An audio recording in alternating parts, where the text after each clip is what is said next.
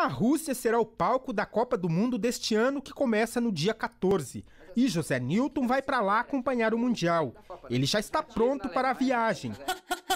O rublo, moeda russa, está nas mãos. Os ingressos para todos os jogos da primeira fase do Brasil também.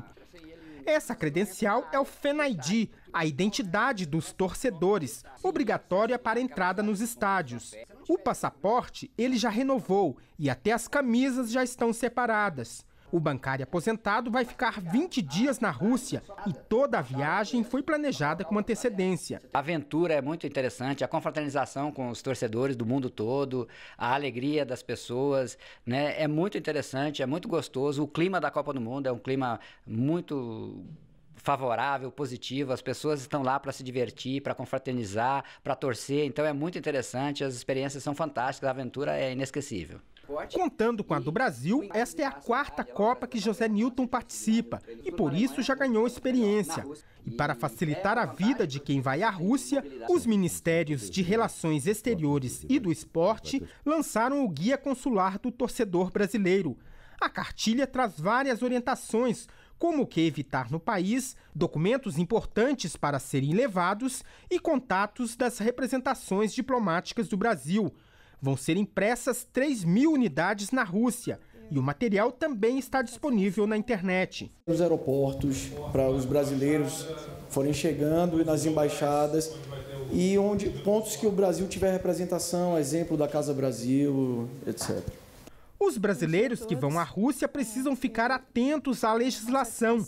Há restrições, por exemplo, para fumar e tomar bebida alcoólica. Bebidas alcoólicas não podem ser ingeridas em espaços públicos, é infração é, punível com multa.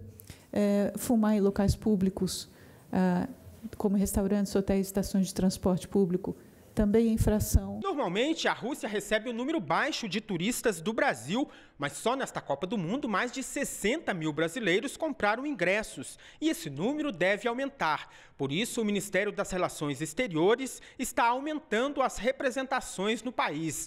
Além da embaixada em Moscou, foram abertos mais cinco postos consulares temporários em São Petersburgo, Kazan, Samara, Sochi e Rostov nós criamos outros postos que terão atribuições de orientar o torcedor brasileiro quanto à documentação, como se comportar nos estádios, a legislação russa, os regulamentos da própria FIFA, que são especificamente aplicados dentro dos estádios de futebol.